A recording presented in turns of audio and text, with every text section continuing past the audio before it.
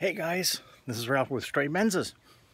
Today I've been messing around with the temperature sensor for the outside and I also have been uh, tinkering with the uh, display on the inside.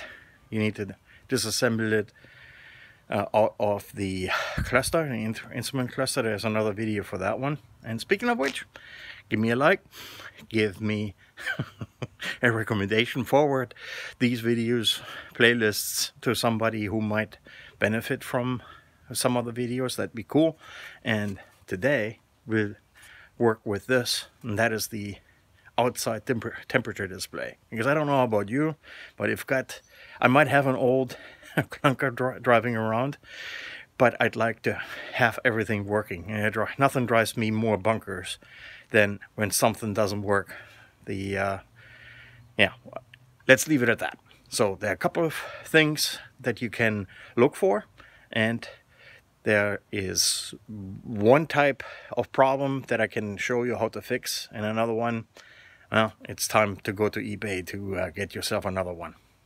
So here we go. You will need two tools. Phillips screwdriver and you will need a fine tip soldering gun. This one is pretty neat because you can, you don't need two hands in order to operate this one. So here's one that fluctuated and at last it finally went completely blank and didn't have numbers but if it's blank like this or the numbers go up and down and up and down and sometimes it's dead nuts and it's it's accurate. That those are the ones that you can save. Here's another one and you can see well you can't but the darker one here the LCD screen is bad and that's that's not something that I can fix. What happens with most of these is that the soldering joints go bad on them so what you do is you take the little screws out.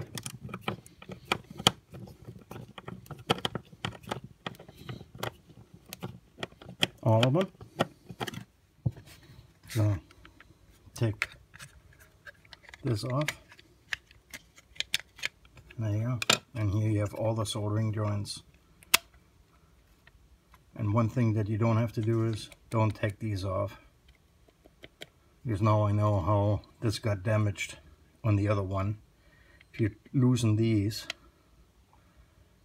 you might just delaminate the LCD screen, which had happened here. So these are all spares, but I at least show you how, how to resolder the joints. This is going to take a while, take your time, but one by one, go heat them up, put some fresh solder on all of these which we're going to do now. And then we'll power it up to see if it works at all. Uh, I don't have a sensor, but at least I, I show you how to power it up so you can get it going. All right, all right. So here have my trusted 12 volt power source. Make sure that you know where plus and negative are. Here's the schematic.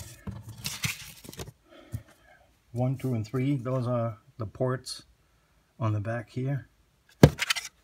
Helps to turn it in the right direction. So you have one here that's where the plus needs to be two where the negative needs to be. Three is coming from the sensor. I'll get to that in a moment. And four is plus for light which we'll also check.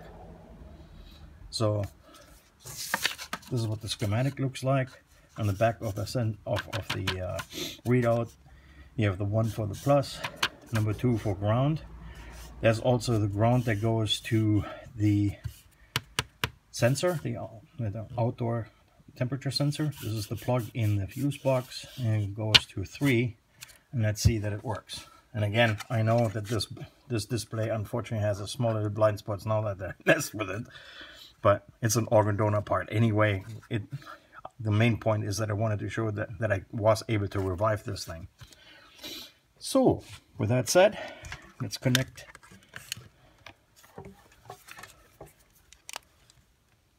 this one to this one to plus. There you go. Negative. And I need a third wire for the to simulate the temp the, the sensor. I put that on three, like so. And then I'm going to just touch this in the back, like so. And turn that around.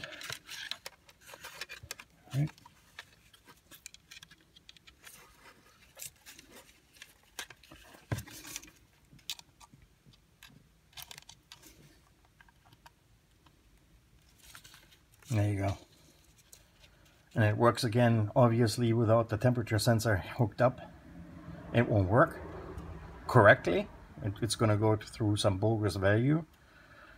Uh, but it, I was able to completely revive the the unit. Now I need another LCD screen for this one in order for that to be 100% correct.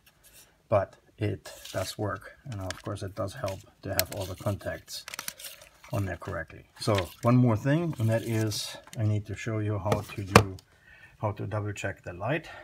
Here what I need, once again, ground plus, and this time instead of the ground there, I'm to put this one there. And then we're to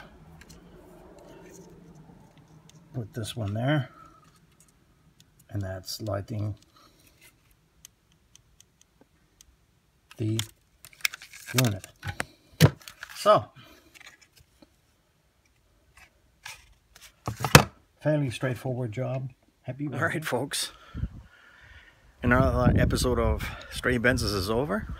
Give me a, a thumbs up.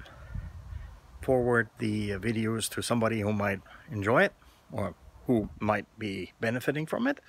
And other than that, give me a couple of suggestions as to what to cover next. Or in upcoming episodes, I'm having a running telly list. Stay safe, stay healthy, stay indoors. and up to the next time, talk to you.